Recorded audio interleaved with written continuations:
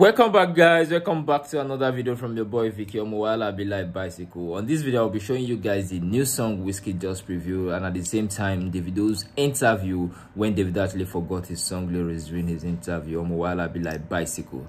But before i proceed to show you guys all you need to see if this is just your first time of coming across my channel please do wait to subscribe please subscribe.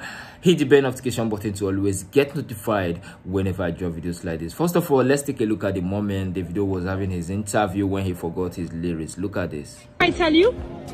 Say I love you. Because my girls call me? Cristiano. But you say if you no get money. Hide your face. Answer me, Joe. Joe. Huh? I don't know. I Guys, did you see that Davido forgot the lyrics to his song? I was like, he was even confused. He can't even remember that again. Nobody be small thing. And secondly, Wizkid was actually spotted this morning recording in studio. It's obvious that Big Wiz have something hot coming for us. Let's take a look at the moment Wizkid was having in studio. This Wizkid in studio.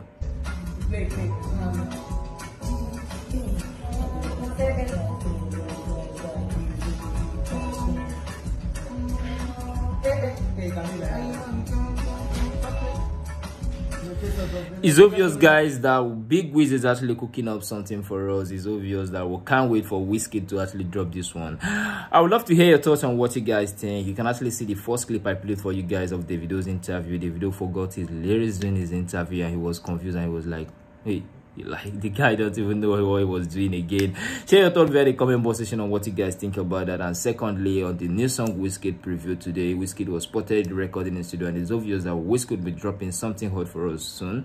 Share your thoughts the comment box section and don't forget to subscribe. Please subscribe. Hit the bell notification button to always get notified whenever i drop videos like this. Big viking i'm out